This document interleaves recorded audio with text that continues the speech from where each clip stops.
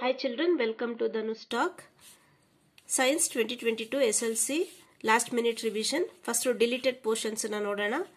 Part ಒನ್ನಲ್ಲಿ metal and non metal ಇದರಲ್ಲಿ three point four ಮತ್ತೆ ತ್ರೀ ಪಾಯಿಂಟ್ ಫೈವ್ ಅದನ್ನ ನೀವು ಓದ್ಕೋಬೇಡಿ. ಬೇರೆ ಎಲ್ಲಾನು ಓದ್ಕೋಬೇಕು. ಪಾರ್ಟ್ ಟೂ ಅಲ್ಲಿ ಹೌ ಡು ಆರ್ಗನಿಸಮ್ಸ್ ರೀಪ್ರೊಡ್ಯೂಸ್ ಎಲ್ಲಾನು ಓದ್ಕೋಬೇಕು. ಆದ್ರೆ ಏಟ್ ಪಾಯಿಂಟ್ ಒನ್ ಮತ್ತೆ ಏಟ್ ಪಾಯಿಂಟ್ ಟೂ ಅಲ್ಲಿ ಬರೋ ಕಾನ್ಸೆಪ್ಟ್ಸ್ನ ಓದ್ಕೋಬೇಡಿ. ಕಾರ್ಬನ್ ಅಂಡ್ ಇಟ್ ಕಾಂಪೌಂಡ್ಸ್ ಅಲ್ಲಿ four point three four point four ಬಿಟ್ಟು ಬೇರೆ ಎಲ್ಲ ಓದ್ಕೋಬೇಕಾಗುತ್ತೆ. ಇಲ್ಲಿ ಎರಡು ಲೆಸನ್ನು ಡಿಲೀಟೆಡ್ ಚಾಪ್ಟರ್ಸು ಅಂದರೆ ಎಕ್ಸಾಮ್ ಪಾಯಿಂಟ್ ಆಫ್ ವ್ಯೂ ನೀವು ಓದ್ಕೊಳ್ಳೋ ಹಾಗೆ ಇಲ್ಲ. The human eye and the colourful world sustainable management of natural resource ಇಲ್ಲಿ ಮಾಡೆಲ್ ಕ್ವಶನ್ ಪೇಪರ್ ಮತ್ತೆ ಪ್ರಿಪರೇಟರಿ ಕ್ವೆಶನ್ ಪೇಪರ್ ಅನಲೈಸ್ ಮಾಡಿ ಕ್ವೆಶನ್ ಪೇಪರ್ ಪ್ಯಾಟ್ರನ್ ಇಲ್ಲಿ ಮಾಡಿದ್ದೀನಿ. ಪಾರ್ಟ್ ಎಲ್ಲಿ physics part B chemistry part C biology ಈ ರೀತಿ ಇರುತ್ತೆ. ಆಲ್ರೆಡಿ ನೀವು ಪ್ರಿಪರೇಟರಿ ಎಕ್ಸಾಮಿನೇಷನ್ ಬರೆದಿದ್ದೀರಾ, ನಿಮಗೊಂದು ಐಡಿಯಾ ಇರುತ್ತೆ, ಆದರೂ ಇನ್ನೊಂದ್ಸಲ ನಾನು ಹೇಳ್ತಾ ಇದ್ದೀನಿ. First main M C Q part A ಅಲ್ಲಿ ಫಿಸಿಕ್ಸ್ ಅಲ್ಲಿ ಸೊ ಎರಡು ಕ್ವೆಶನ್ ಇರುತ್ತೆ. ಒನ್ ಮಾರ್ಕ್ಸಿಗೆ ತ್ರೀ ಕ್ವೆಶನ್ನು ಹಾಗೆ ಟೂ ಮಾರ್ಕ್ಸಿಗೆ ತ್ರೀ ಕ್ವೆಶನ್ ತ್ರೀ ಮಾರ್ಕ್ಸಿಗೆ ತ್ರೀ ಕ್ವೆಶನ್ಸ್ ಇರುತ್ತೆ. ಫೋರ್ ಮಾರ್ಕ್ಸಿಗೆ ಟೂ ಕ್ವೆಶನ್ ಇರುತ್ತೆ ಫೈವ್ ಮಾರ್ಕ್ಸಿಗೆ ಆ ಪೇಪರು ಎರಡು ಪೇಪರ್ ಅನಲೈಸ್ ಮಾಡಿದಾಗ ಫೈವ್ ಮಾರ್ಕ್ಸಿಗೆ ಫಿಸಿಕ್ಸ್ ಪಾರ್ಟಿಂದ ಇರಲಿಲ್ಲ. ಹಾಗೆ ಪಾರ್ಟ್ ಬಿ ಕೆಮಿಸ್ಟ್ರಿಗೆ ಬಂದರೆ ಮತ್ತೆ ನಾವು ಎಂ ಸಿ ಕ್ಯೂ ಇಲ್ಲಿ ಎರಡು ಕ್ವೆಶನ್ ಇರುತ್ತೆ ಒನ್ ಮಾರ್ಕ್ಸ್ ಕ್ವೆಶನ್ ಬಂದ್ಬಿಟ್ಟು ಒನ್ ಇದೆ, ಹಾಗೆ ಟೂ ಮಾರ್ಕ್ಸ್ ಕ್ವೆಶನ್ನು ಟೂ ಇದೆ ತ್ರೀ ಮಾರ್ಕ್ಸ್ ಕ್ವೆಶನ್ನು ತ್ರೀ ಇದೆ ಫೋರ್ ಮಾರ್ಕ್ಸ್ ಕ್ವೆಶನ್ ಇಲ್ಲಿ ಒನ್ ಇದೆ, ಮತ್ತೆ ಫೈವ್ ಮಾರ್ಕ್ಸ್ ಕ್ವೆಶನ್ನು ಸಹ ಕೆಮಿಸ್ಟ್ರಿಯಲ್ಲಿ ಒನ್ ಇದೆ. ಹಾಗೆ ಪಾರ್ಟ್ ಸಿ ಬಯಾಲಜಿಗೆ ಬಂದರೆ M C Q four questions ಇದೆ. ಹಾಗೆ ಒನ್ ಮಾರ್ಕಿಂದು ಫೋರ್ ಕ್ವಶನ್ಸು ಬಯಾಲಜಿಯಲ್ಲಿದೆ ಟೂ ಮಾರ್ಕ್ಸು ತ್ರೀ ಕ್ವೆಶನ್ ಇದೆ ತ್ರೀ ಮಾರ್ಕ್ಸಿಂದು ತ್ರೀ ಕ್ವೆಶನ್ಸು ಫೋರ್ ಮಾರ್ಕ್ಸಿಂದು ಒನ್ ಕ್ವೆಶನ್ ಇದೆ ಫೈವ್ ಮಾರ್ಕ್ಸಿಂದು ಕ್ವೆಶನ್ ಇಲ್ಲ.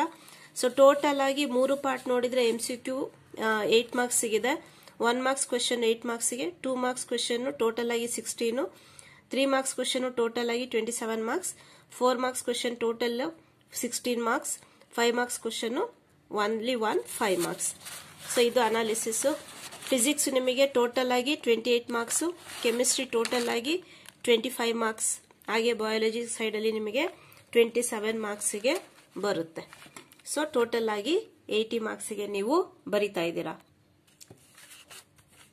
ಫಿಸಿಕ್ಸಲ್ಲಿ one to thirteen question physics part ಫೋರ್ಟೀನಿಂದ twenty three questions chemistry part twenty four to thirty eight biology part ಆಗಿರುತ್ತೆ. Four marks ಮತ್ತೆ five ಮಾರ್ಕ್ಸಿಗೆ ನೀವು ಈ ಲೆಸನ್ ಮೇಲೆ ಕಾನ್ಸಂಟ್ರೇಟ್ ಮಾಡಬೇಕಾಗುತ್ತೆ. Magnetic effect of electric current metals and non metals control and coordination light heredity and evolution ಮತ್ತೆ life process ಇಷ್ಟು lesson ಮೇಲೆ ಫೋರ್ ಮಾರ್ಕ್ಸ್ ಇಂದ ಫೈವ್ ಮಾರ್ಕ್ಸಿಗೆ ಬರೋ ಸಾಧ್ಯತೆಗಳು ಹೆಚ್ಚಿದೆ.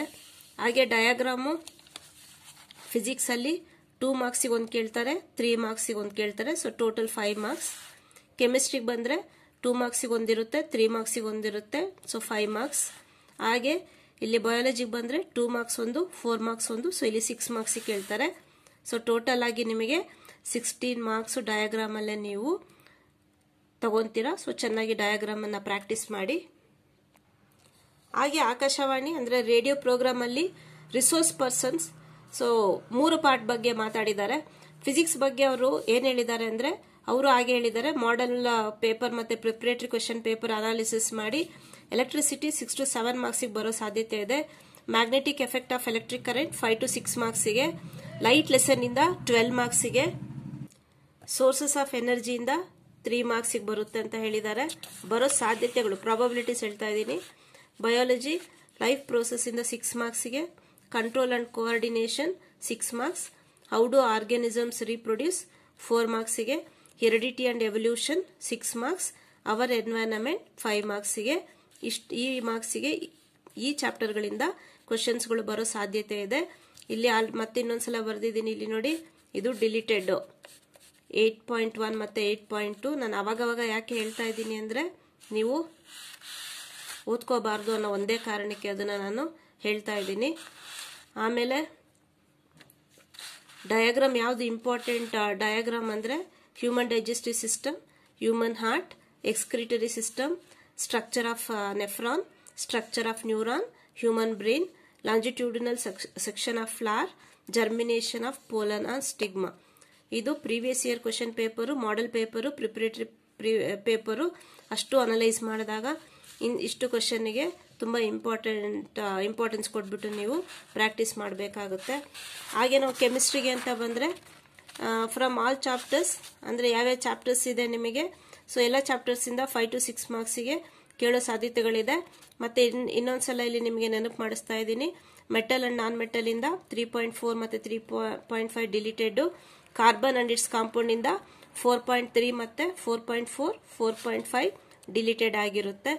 ಸೊ ಈ ಪ್ಯಾಟ್ರನಲ್ಲಿ ನೀವು ರಿವೈಸ್ ಮಾಡಿ, ಮತ್ತೆ ಇನ್ನೊಂದು ವಿಡಿಯೋದಲ್ಲಿ ನಿಮ್ಮನ್ನ ನಾನು ರಿವೈಸ್ ರಿವಿಷನ್ಗೆ ಮತ್ತೆ ಮೀಟ್ ಮಾಡ್ತೀನಿ.